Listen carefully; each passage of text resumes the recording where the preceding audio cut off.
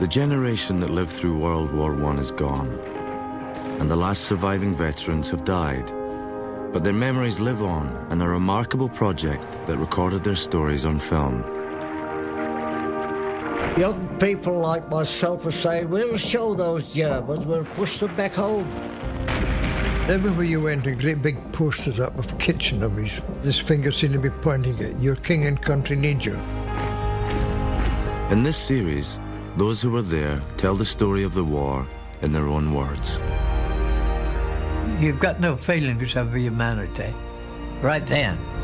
Afterwards, yes. In this episode, we hear how the outbreak of war turned lives upside down. My heart stood still. I suddenly realized that this was a warfare I may not return. Whether you're going to shoot Germans or uh, whether they're going to shoot you. You never know what, what the future held. These last veterans of World War I revealed their experiences in the hope that what they went through would never be forgotten.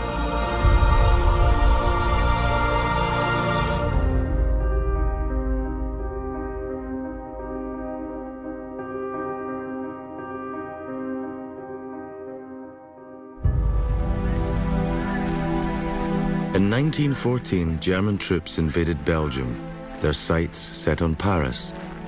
A shocked Britain gave the Kaiser an ultimatum to withdraw or face the consequences.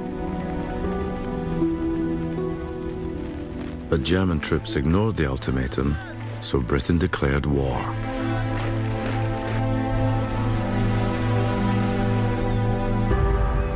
As the British Army set sail, the public was sure of swift success.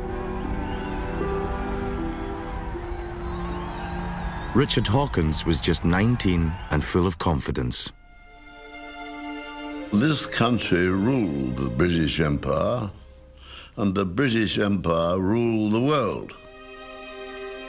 And it was a very, very different place. I mean, we, we, we, we were the best country in the world, the best everything in the world. We were all very proud of ourselves. And as a young man, it was my young my duty and the duty of every young man to go and defend it against all invaders and to give, if necessary, our lives to do it.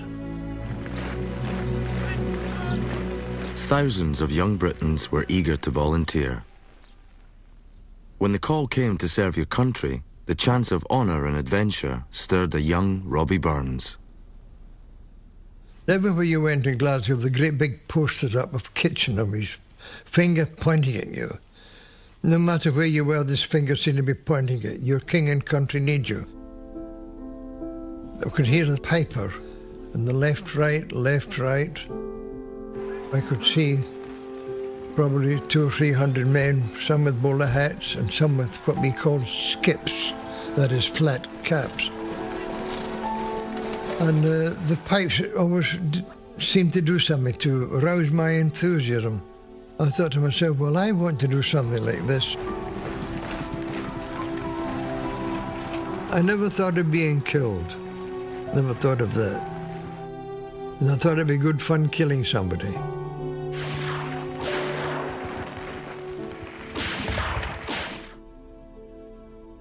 20 year old Londoner Jack Rogers felt the conflict was personal. Blinking old Kaiser and his son, we used to hate them people, but uh, we certainly wanted to, you know, get out and do our bit because we thought they might be taken over here, you see, and we didn't want that to happen. So we'd do anything that's to fight, of course, and keep them from coming here. Queues to sign up formed over a mile long. Kitchener had no trouble in finding the first hundred thousand. Damaged you couldn't get in, into the Ruddy Army. There was such a, a rush to get there, to get on, and defeat the, the, the enemy and prevent him from taking over this country. Among the first to enlist was an enthusiastic Dick Barron, then 18. I think I got my idea with a lot of young fellows uh, from Boys' Own Paper, and, and, the soldiers were very, very uh, spectacular creatures. And how they fought in the Crimea and uh, the wonderful charge of the Light Brigade. It was all very romantic. We didn't think of the worst part of warfare. In Liverpool, Florence Billington found herself comforting her sweetheart Ted as he prepared to leave for France. He was worried to death and I was trying to comfort him. I didn't know what to say. I knew nothing about war or anything like that. But all I could do was to tell him to look on the bright side, that there were better days in store when it was all over. But he was quite convinced that he, he, was, he was going to be killed. Eagerness to join up affected young and old. Len Whitehead's family soon caught the popular mood. Everybody terribly excited. Nobody more excited than my elder brother, George. He was so keen to go. He went into my mother's bedroom. She had she was not very well at the time and was in bed. And he picked up a stick, tucked it under his arm and marched about the bedroom. This is how I shall strut about the London parks, he said. Jokingly, of course. I don't think it, it, occurred to any of them that they might never come back again. It was a sort of glamour of it all. But uh, he did go. Yes, he went. Friends, neighbours, workmates together joined what became known as PALS battalions. George Littlefair went in with his best friend Joe. I had a pal in the army, and we were the best of pals together, and they called him Joe. We had our ups and downs between us, but still we were always good pals with one another. We helped one another. Ted Francis volunteered for the 16th Warwickshires, the Birmingham Pals. You'd have thought that an extra bank holiday had been told in Birmingham because people were excited, laughing, joking. Uh, young people like myself were saying, We'll show those Germans, we'll push them back home. How dare they walk over little Belgium, etc., etc. And we were anxious to get to France, to, to have a go at them, to push them back into Germany.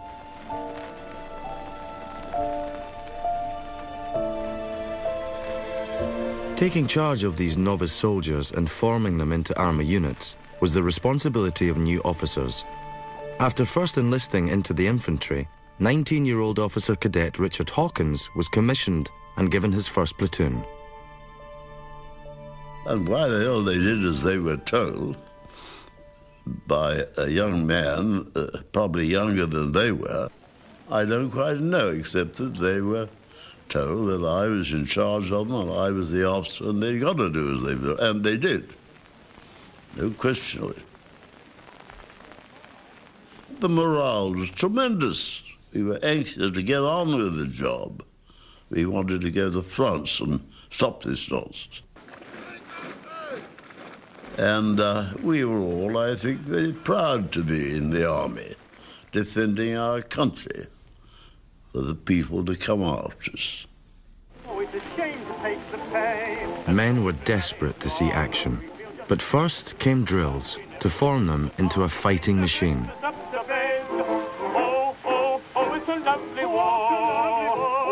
Want with eggs and ham when we got plum and apple jam. Oh, oh, right, son, how do we spend the money we earn? Oh, oh, oh, it's a lovely war. As they set off, they remained enthusiastic, with little idea of the horrors that awaited them.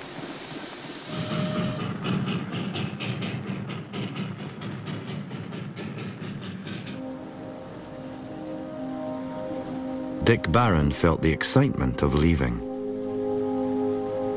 The whole of the ship's company, from the top deck right down, including ourselves, suddenly burst into song in unison. Homeland, homeland, when shall I see you again? Land of my birth, dearest place on earth, I'm leaving you. Oh, it may be for years, and it may be forever. Homeland, homeland. Up to then, the whole thing had been most enjoyable, but I, my heart stood still. I suddenly realized that this was a warfare. I may not return.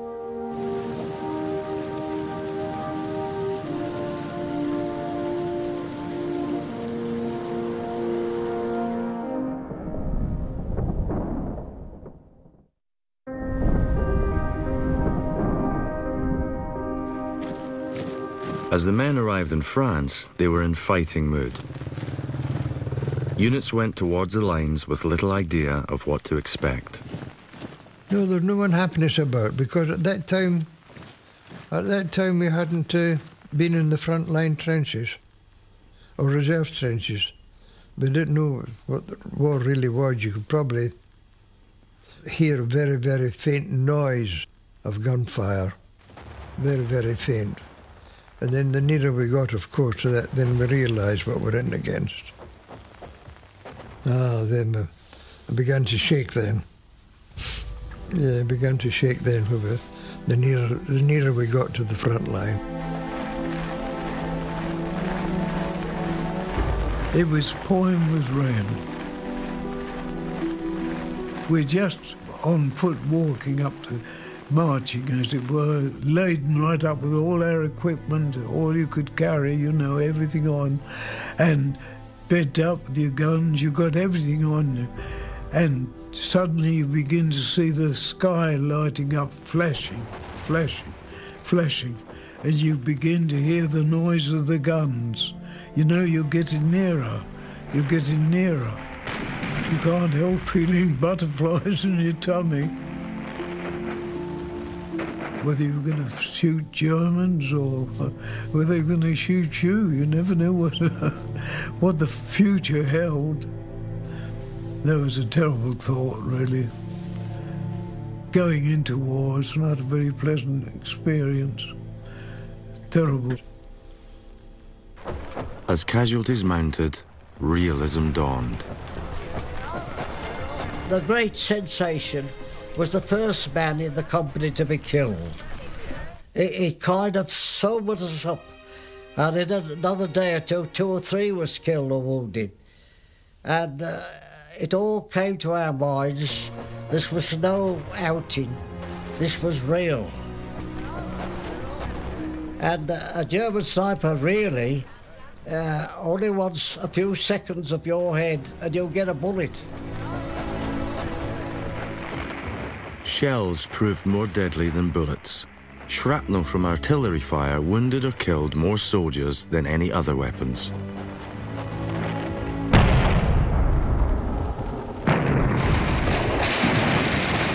Even the indirect effects of shell bursts were devastating, as Jack Rogers discovered. One of the great big shells landed right on the earth above us and exploded. And all of a sudden, of course, all the earth above us all suddenly collapsed and came right down straight on top of us. Absolutely as we were sitting there, buried us just completely alive. It covers right in. And I knew I must have been struggling hard to breathe. I couldn't move. I couldn't move hand, foot, only my toes in my boots. More terrifying than artillery barrages was the prospect of abandoning the shelter of the trenches to advance into no man's land. Ted Francis went forward with his brother Harry. When you're waiting at a certain time to go over the top, you hear, hear the officer blow a loud whistle. And that's the time that you're supposed to scramble and get over the top and dash for the nearest shell hole.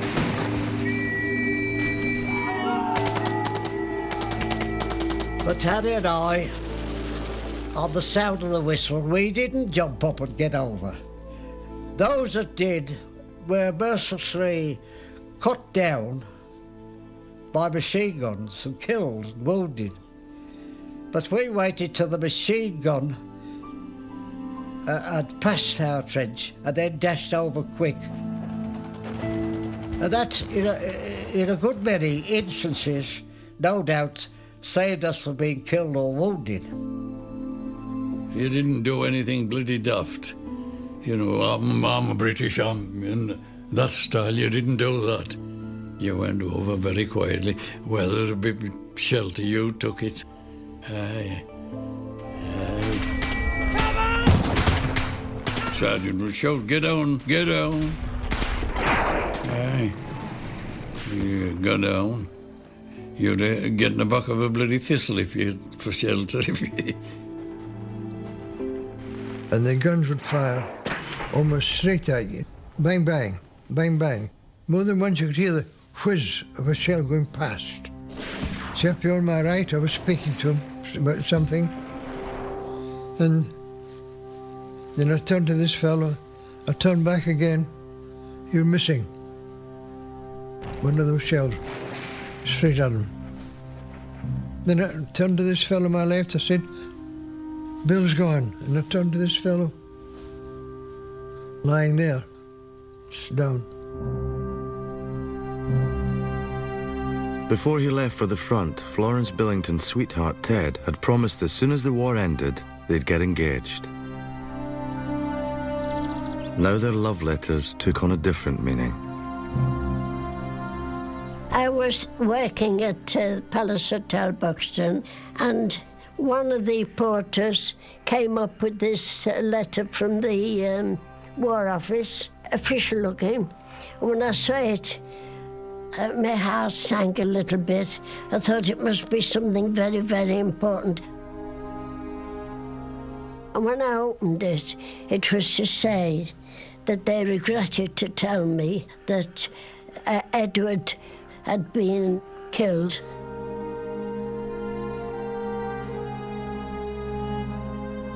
The, uh, the letters from me were found on his body, and that's why that's why they could uh, find out where I was. I couldn't really, I couldn't really imagine him not being there. I couldn't imagine it. I thought, I thought maybe one day they'll find out they made a mistake, and perhaps he might turn up one day.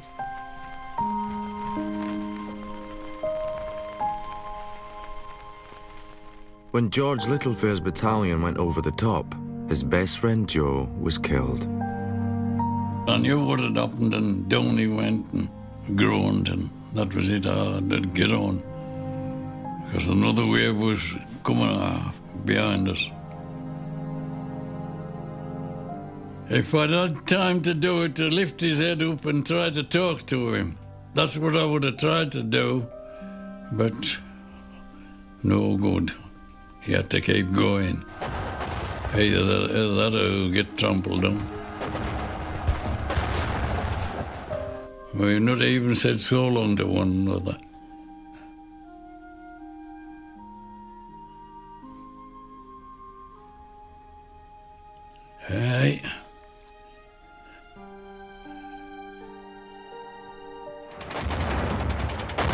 If they survived the dash across no man's land, the attackers closed on the enemy front line and faced a terrifying prospect of trench fighting, with brutal hand-to-hand combat.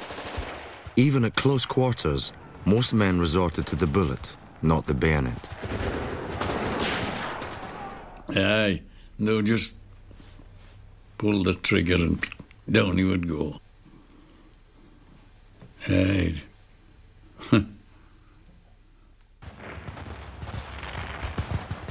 It made you never forget it. Never. I haven't to this day. Just to think you, you shot a man, you know, for, and uh, do nothing at you. That was how I used to always look at it. And then again, he was say, well, if I don't get him, he'll get me, and my life is worth a hell of a lot to me. That's how we were on, young and daft. Aye. For the first year of the war, attack and counterattack gained little. Bullets and shell fire took their toll. Sir Richard Hawkins deployed the Army's secret weapon. I went round with the rum bottle every morning at dawn, round the trenches. I'm exaggerate, but you could feel that rum going down into your boots, which are probably full of icy water, drying up the water, coming up to you and say, look at over there, now where's that ruddy un? It saved lives. It was old Navy rum. But that old Navy stuff, one would have taken on of the whole of Germany at dawn in the morning. And I don't exaggerate about that. But it would take more than patriotism laced with Dutch courage to win the war. In the next episode, we hear from those who lived through the British Army's bloodiest day, the Battle of the Somme.